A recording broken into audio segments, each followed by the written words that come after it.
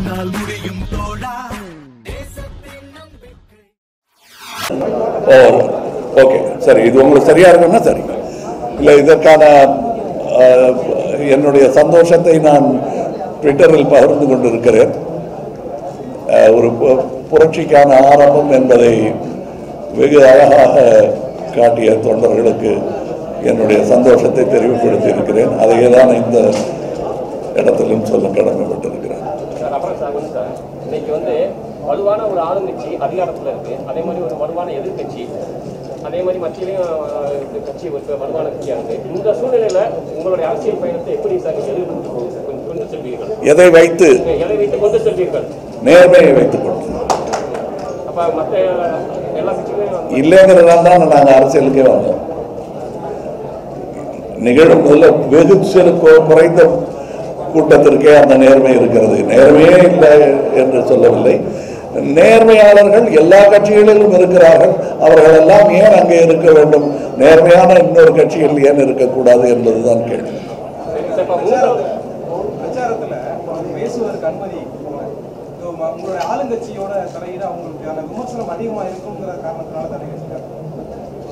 அதை விட அவர்களுக்கு பயம் விமர்சனம் இருக்கிறது என்பது நான் சொல்லித்தான் தெரிய வேண்டிய அவசியம் இல்லை. நாடெங்கிலும் இருக்கிறது தமிழ்நாடெங்கிலும் இருக்கிறது அவர்கள் வாழ்வுள்ள விமர்சனம். எங்கள் புகழ் கூடும் என்பதும் மக்கள் ஆதரவு எங்களுக்கு அதிகரிக்கும் என்பதும் வேண்டுமானால் அவர்கள் பதட்டமாக இருக்கலாம். சார் திரையுலக கூட்டணியில ரஜினிகாந்த் நீங்களும் பல்வேறு சாதனைகள் வெற்றிகள். அதே போல இப்ப தற்சமயம் அரசியல்ல ஒரே கூட்டணி அமைத்து வெற்றி பெறுவதற்கான வாய்ப்பு இருக்கா சார்? வாய்ப்பு இருக்கிறது என்பதை நாங்கள் சொல்லி கிட்டத்தட்ட ஒரு வருஷம் ஆச்சு. அதுக்கான நேரம் வர வேண்டும். அதற்கு முதலில் அவர் வந்து முப்பத்தொன்னாம் தேதி பொறுத்திருந்து பார்த்து விட்டு அதற்கு பதில் சொல்வது சரியாக இருக்கும்.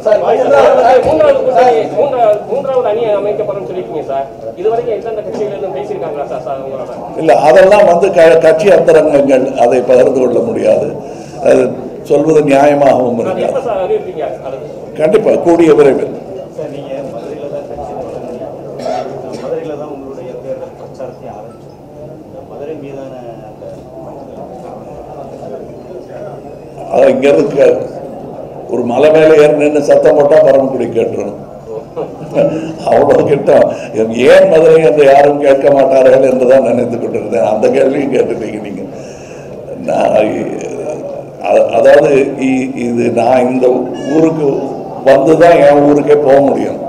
இங்கே ரயில் மாதிரி தான் போவோம் நாங்கள் பஸ்ஸு பிடிச்சிட்டு தான் அங்கே எங்கள் ஊருக்கே போவோம். அதனால் இது எனக்கு நெருக்கமானது என்று சொல்வது வந்து மிகையாகவோ பொய்யாகவோ இருக்காது. போட்டியிடுறது வந்து சார் இப்போ தேர்தல் பார்லிமெண்ட் தேர்தலில் நீங்கள் போட்டியிடல. இந்த தேர்தலில் நீங்கள் போட்டியிடுவீங்களா? போட்டியிட்டா எங்கே போட்டியிடுவீங்க கண்டிப்பாக போட்டியிடுவேன். எங்கே என்பதை இப்பொழுது சொல்வது உச்சிதமாக இருக்காது என்பதனால் ஒரு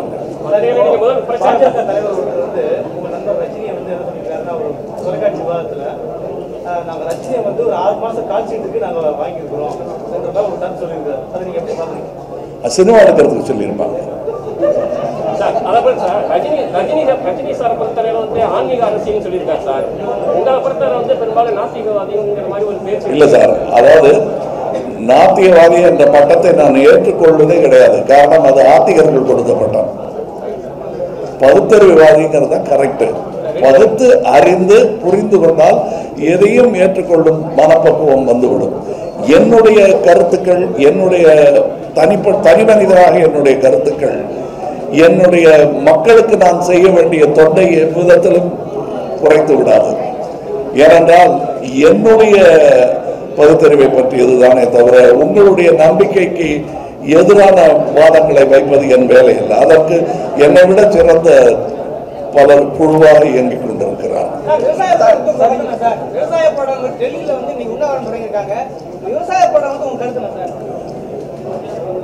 நியாயம் இல்லாமல் இத்தனை பேர் அவங்க வயத்துல அடிக்கிறாங்கங்கிற அந்த பதட்டம் வந்ததுனால தான் அவங்க இங்க வந்திருக்காங்க.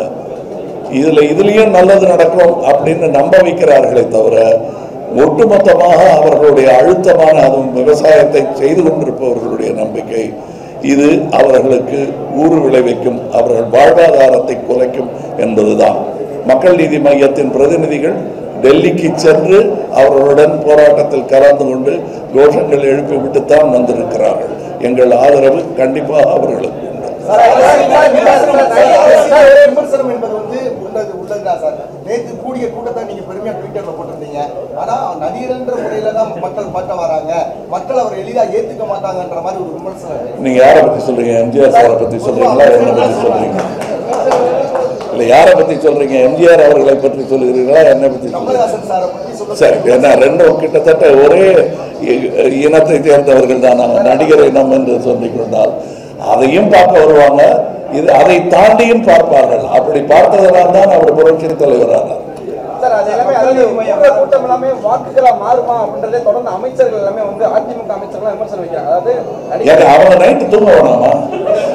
ஏதாவது ஆறுதல் சொல்லிட்டு தானே சார் மக்கள் தொடர்ந்து மூணாவது தேர்தலை சந்திக்க இப்போ நீங்க கட்சி ஆரம்பிச்சதோட பயணம் வந்து ஒரு நேரடியான நேர்மறையான பயணத்துல போயிட்டு நேர் நேர்முறை நேர்மை அதுல ஒரு பஞ்சமும் கிடையாது நேர்வழிக்கும் பஞ்சம் கிடையாது.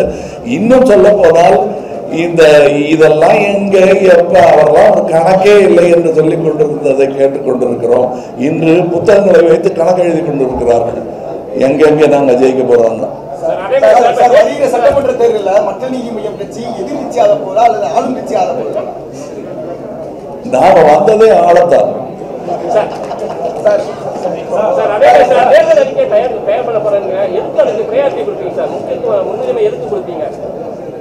அதாவது கரப்ஷன் இல்லாத கவர்மெண்ட் அதாவது நான் ஒரு கமிஷன் ராஜ்யமாக மாறிவிட்டது என்று சொல்லிக் கொண்டிருந்தேன். அதை மிஷன் ஓரியன்டாக ஆக்க வேண்டும். ஒரு லட்சியத்தை நோக்கிய பயணமாகவும் அது கையூட்டை நம்பிய ஒரு அரசாக இல்லாமல் லட்சியத்தை நம்பிய பயணமாக இருக்க வேண்டும். அதற்கு முதல் கரப்ஷனை ஒழிப்பதற்கான என்ன மேல் மட்டத்திலிருந்து அதை செய்ய தொடங்க வேண்டும். கீழ்மட்டத்து ஊழியர்களை தண்டிப்பதன் மூலம் மட்டுமே லஞ்சமும் ஊழலும் ஒழிந்து விடாது. மேல் மட்டத்தில் இருப்பவர்கள் நேர்மையாக இருக்க வேண்டும். அதற்கான பயிற்சிகளை இரண்டு வருடமாக எல்லா தலைமை பொறுப்பு ஏற்கக்கூடியவர்கள் என்று நாங்கள் சற்றே சந்தேகப்பட்டால் கூட அவர்களுக்கு அந்த அறிவுரையை ப- பயிற்சியை கொடுத்து கொண்டிருக்கிறோம்.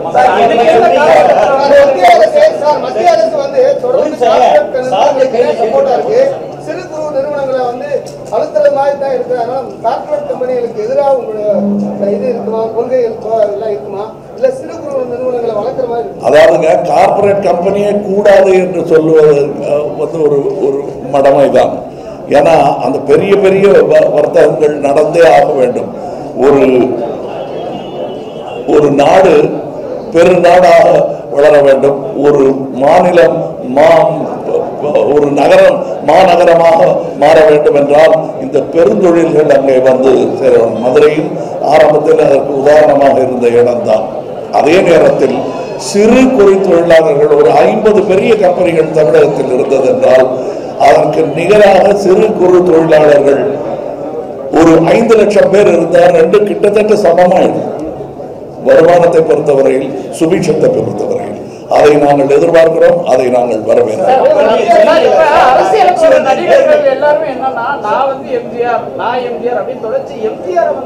இல்ல இல்ல எனக்கு அந்த சந்தேகமே கிடையாது. அவர் மட்டுமே எம்ஜிஆர் அவர் மட்டுமே எம்ஜிஆர் நான் கமல்ஹாசன். நாளைக்கு எனக்கு பதவி பிரமாணம் பண்ணி வைக்கும் போது அப்படித்தான் சொல்ல வேண்டியது.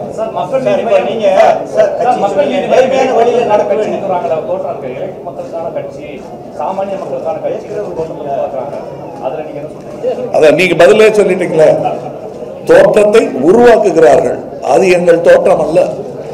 சார் நீங்க கட்சி வந்து நேர்மையான இதில் கொண்டு போறது எங்களுடைய ஏன்னு சொல்லியிருக்கிறீங்க ஆட்சியையும் அப்படிதான் கொண்டு போகணும். ஆனா இப்போ வந்து ஒரு கார்பரேட் தான் உங்களை இயக்குறதாட்டு சொல்றாங்க. அது எந்த கார்பரேட்னு சொல்லிருங்க. ஏன்னா அது தெரியாம நாங்க வாட்டுக்கு எங்க கை காசு செலவு.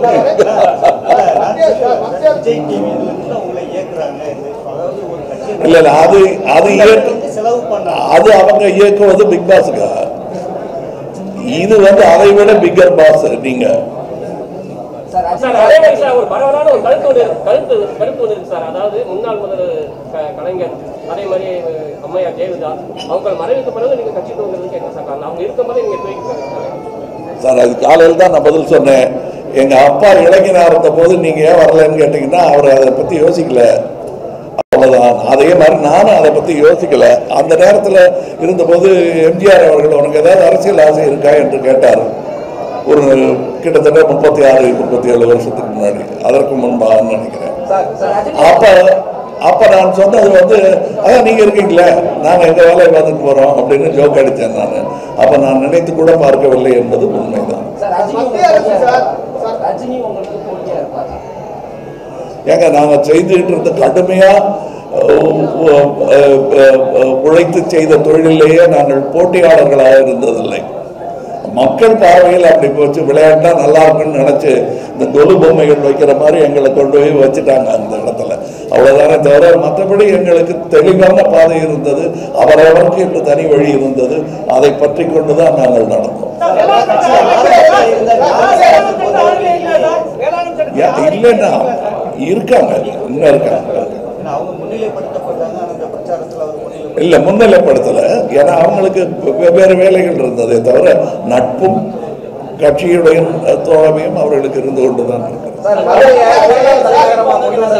மதுரை இரண்டாம் தலைநகரமா கொண்டு வரேன்னு சொல்லிட்டு நேற்று பேசியிருந்தீங்க. தொடர்ந்து அதிமுக அரசும் அந்த வலியுறுத்திட்டு இருக்காங்க இது எந்த அளவுக்கு சார் மதுரை வளர்ச்சிக்கிறதுக்கு மக்கள் நியமன சேவை என்னென்ன விஷயங்கள் பண்ணலாம் கண்டிப்பாக நான் அதான் நான் சொன்னேன் நான் சின்ன பையன்ல இருந்து இந்த இந்த மதுரையை கடக்காமல் எங்க ஊருக்கே போக முடியாது. ஆனால் வர வர மதுரை இன்னும் அதனுடைய சூடு சுற்றுச்சூழல் எல்லாம் இன்னும் மோசமாகத்தான் போய்க்கொண்டிருக்கிறதே தவிர சிறப்பாக இருக்கிறது என்று பல பல நூற்றாண்டுகளாக சரித்திரம் கொண்ட மதுரை. தமிழக அரசு வந்து நீர் மேலாண்மையும் சரி குடிமராமத்திலையும் சரி பல்வேறு திட்டங்கள்ல வந்து சிறந்த மாநிலம்னு மத்திய அரசே விருது கொடுத்துருக்கு சார் அப்படின்னு அமைச்சர்களே சொல்றாங்க. மத்திய அரசு மத்திய அரசு அவங்களுக்குள்ள இருக்கிற ஒப்பந்தத்தை பத்தி நாங்க பேச முடியாது. மக்கள் சொல்லணும். அதான் நேற்று சொன்னேன் நல்லதுக்கான எல்லா கையெழுத்தையும் போட்டாங்க ஒரு கையெழுத்து மாத்திரம் போட்டு பத்தாது. அதனால நம் தமிழகத்தை நல்வழிப்படுத்த சீரமைக்க எத்தனை கையெழுத்து தேவைப்பட்டாலும் இங்கு தெரிந்து வச்சுன்னா கை காட்டு வைப்பேன் ரெண்டு பேருமே முழு நேர அரசியல இருந்து மக்களை சந்திக்கிறதா சொல்றாங்க. ஆனா நீங்க வந்துட்டு அப்பப்போ வந்து மக்களை சந்திக்கிறதும் படப்பிடிப்புகள் அதுல போறனால எப்ப முழு நேர அரசியல்ல கமலஹாசன் ஈடுபடுவாங்க முழு நேர அரசியலில் அவர்கள் சந்தித்ததாக இருந்தால் கஜா புயலின் போது போய் சந்திச்சிருக்கணும் ஹெலிகாப்டர்ல இருந்து பார்த்தாங்க. அடுத்து அடுத்தது.